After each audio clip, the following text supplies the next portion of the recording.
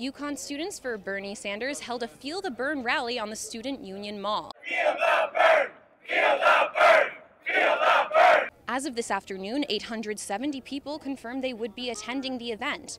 The high number of attendees is pretty surprising considering the rally is not an official event sanctioned by UConn or an official UConn organization. So we created this Facebook page, my friend Bennett and I, over the summer, and we just said spread the word to your friends, to your siblings, whoever here is a student at um, UConn, just spread the word.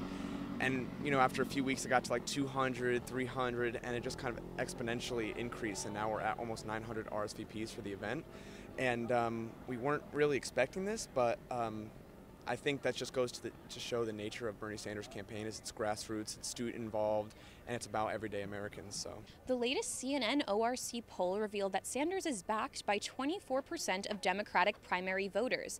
That's only 18% fewer than Democratic frontrunner Hillary Clinton.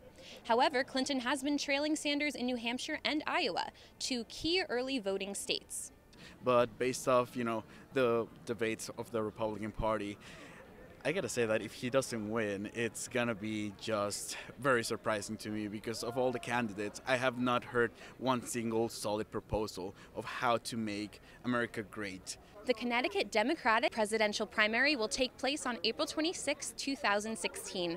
Reporting for UCTV News, I'm Rebecca Greenberg.